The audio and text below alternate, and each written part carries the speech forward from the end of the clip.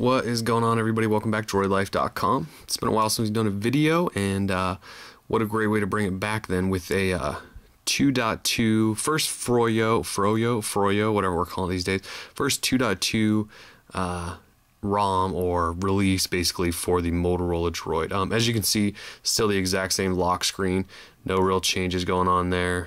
You know, you can mute it. Actually, that little icon does change, but uh, that was different. But anyway, let's go right into it. And uh, first thing you'll notice is the new launcher.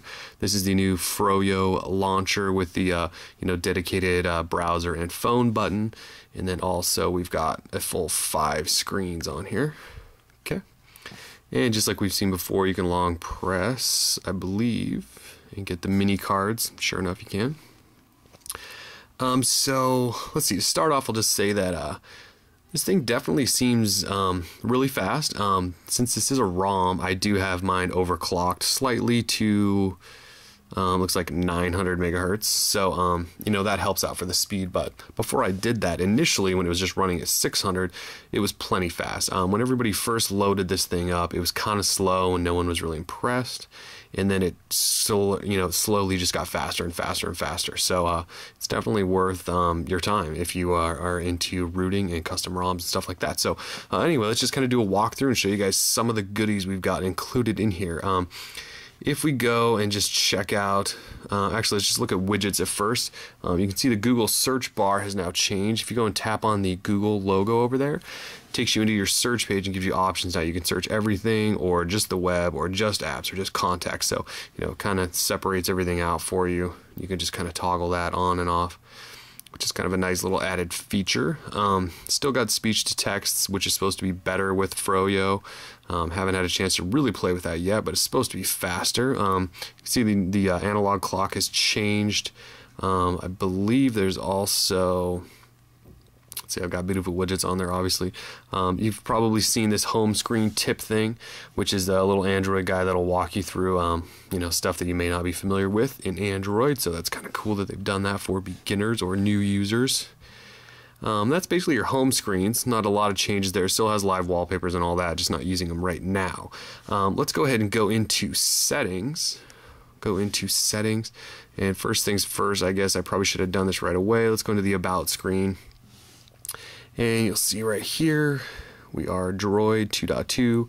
Um, baseband's the same, although there has been an update released for that. We just haven't done it yet.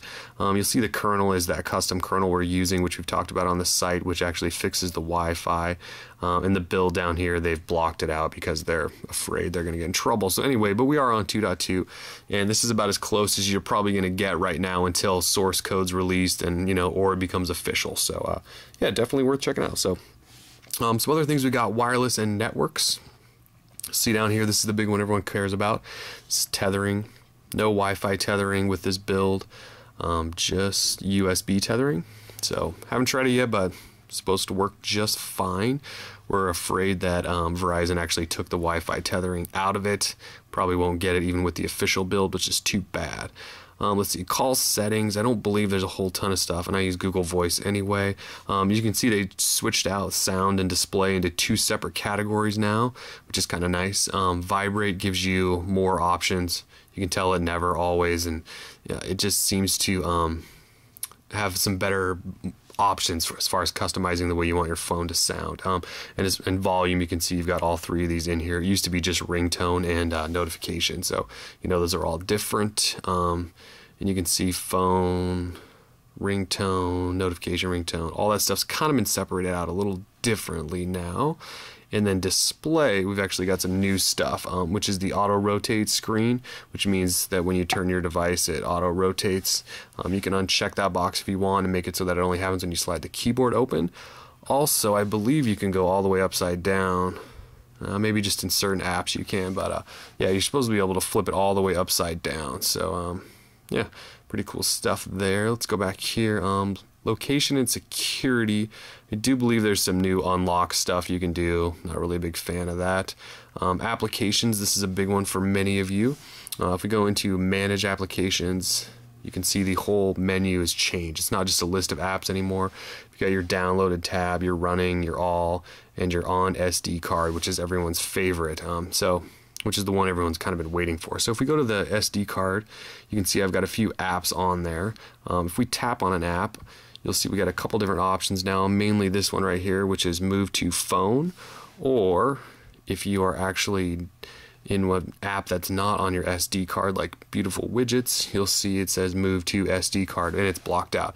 Um, it's up to developers to add that option or not, or if you're using Titanium Backup, which is this app right here, you can sort of force move those over to your SD card, which is why I have some of these on there. So anyway, um, I do like it that they have this tabbed version up here instead of using to have use instead of when you used to have to go to menu, filter, all, and all that stuff. So anyway, a nice new feature there.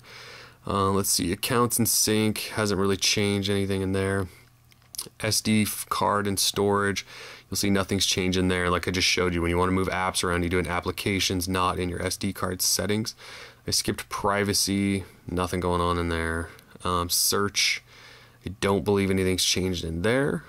Uh, language keyboard, not sure that anything's actually changed in there. It does look a little different. It looks like they took some stuff out, but not totally sure on that one. Accessibility. This option is pretty cool. Power button ends your call. So if you're on a phone call and you know your screen gets locked or doesn't come back to life, you can just hit the power button. It'll actually end it. So that's kind of a nice little feature they've added now. And date and time, I do not believe is changed at all and then I already showed you the about phone. So that's kind of all the system stuff that's going on with this new uh, Froyo build that we have out there. Let's go ahead and show you some applications that may have changed. Uh, if we go into the browser, I do believe that they've changed just the way this menu looks down here. You got new window bookmarks and windows. I just believe they've you know moved those around a little bit. So uh, anyway, that's really the only change as far as I know in the browser. Uh, let's see if we pull this up. You do have the uh, new, well, it used to be the 2.1 Nexus clock that actually came standard with this ROM. So I don't know if they added that in or if it's actually going to come with Froyo. Um, the car home has completely changed. You can see there you got all these dedicated buttons. It actually kind of looks like a navigation would look. Um, and you can't actually you can't actually hit home to get out of it either. You actually have to exit, and it gives you all kinds of options. But you know they've done a nice job of really polishing it up and making it look like a navigation. And so we exit out of there. Let's see what we got next. Um, Gmail is pretty cool actually. They made some pretty significant changes that um, we all really have been looking forward to. So let's say we got multiple accounts on here. Okay, so I got two accounts on there. So if I'm in, sorry about that, if I'm in an account and I'm creating an email, you can see now we have a pull down menu up top and you can choose which email account you want to use. Okay, so I have like three or four email accounts sometimes on my G or in my Gmail app and it's much easier now to do that than have to go back out and select a different account or go into one and then compose. You know, you guys know what I mean. So now definitely the option to choose which account you want. It's about time they decided to do that. Um, also, when you are in an email, we now have dedicated buttons down here to get you to your next email, which is pretty cool. Also shows you if they're one of your contacts, it'll show up there, which is kind of cool. So they've added that. So the Gmail app has changed a little bit. And let's see what else we got.